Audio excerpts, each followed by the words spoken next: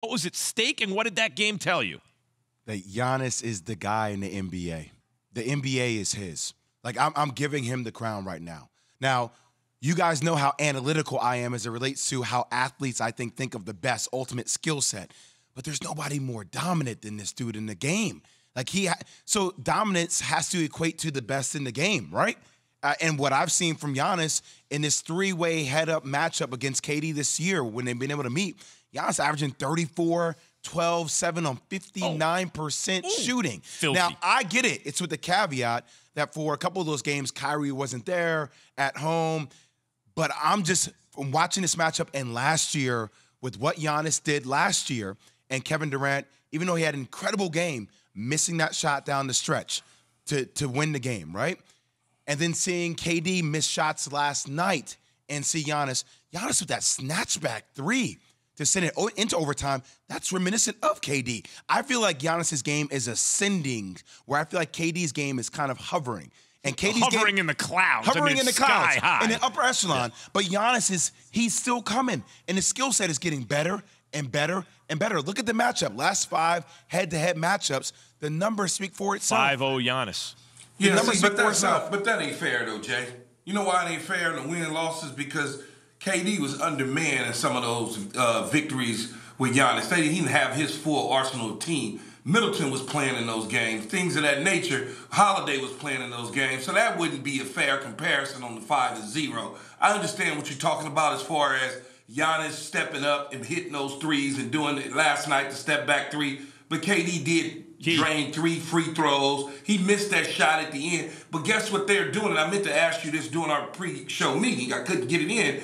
They were blitzing him and running at him from all angles and forcing KD to make some bad shots down the stretch. So You that's more on Budenholzer than it is on Giannis and what they were doing Oh, you mean on KD? They're blitzing KD down the stretch? down the stretch. Well, you, you know why? I mean, you can do that when you don't have the pieces around Yeah, your that's, team. that's, see, that's what I, that's that's why I was saying what I'm saying that it's unfair to him. It's not on the unfair. five That's the way you play basketball. By the way, Giannis, That's the way you play. By the way, they blitzed Giannis down the stretch. You know what Giannis did? He passed it to Bobby Portis. He made a play. He passed it to Jrue Holiday. Jrue Holiday made That a play. speaks to Chris what's around him, Middleton though. wasn't in the game. He actually got ejected on the foul he had on Bobby Brown. So Yeah, yeah, I- I- that- it's all. that- uh, it's also personnel that you have with your Can team we put as the well. stats back on the screen for a second? I want to show you guys something. It's not just that it's 5 0 Giannis key.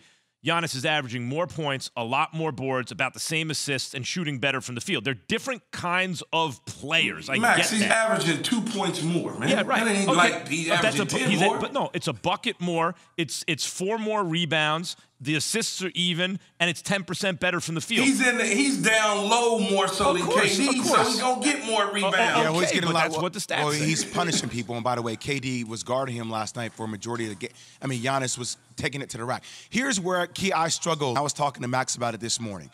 So for me, like when I look at Gian- I look at Giannis, there's nobody that's going to stop him. Like there, there's no game plan. You can't load up in the paint anymore.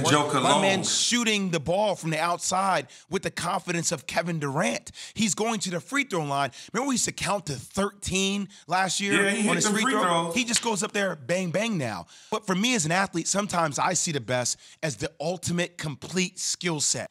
And I'm still willing to say that the ultimate complete skill set, KD's skill set is still, it's unquestionable. I haven't seen it. But the dominance of Gian- Giannis is making me think I'm starting to equate dominance towards I, the I best have a now. pro. I see. This is the thing, He's and I noticed silky this though. with. That's the thing with Who? KD though. It's KD, silky. man. But this is the thing I noticed with ballers, right? Y'all are ballers, right?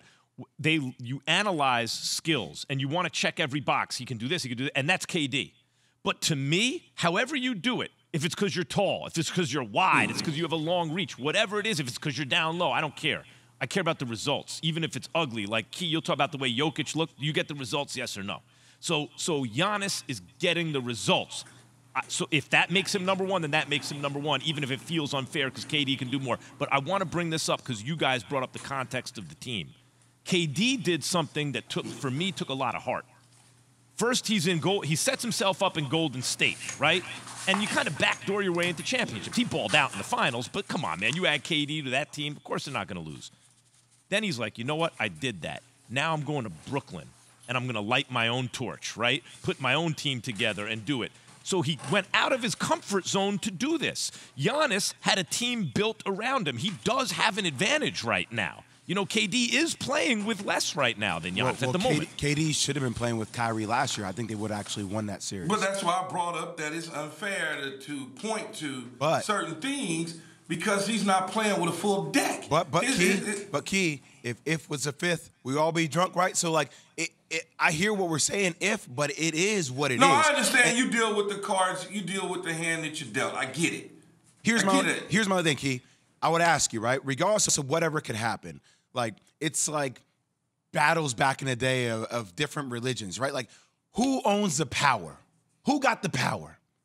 It's hard for me to tell you that Giannis doesn't got the power. He just took Constantinople. He, he won a world championship. He had 50 and 14 in game six of the NBA finals, regardless if you want to give me the caveat, well, he's going against the Suns. And now they're on, they're ascending back to the number one seed again. And here's what I like about it. When last night you saw the Philadelphia 76ers lose to Detroit, it brings out the conspiracy theorists. Oh, they're running away from the number one seed. And I'm not saying I believe it, but it's out there because they don't want to play against Brooklyn. I see Milwaukee running towards the number one seed. Like, okay, fine.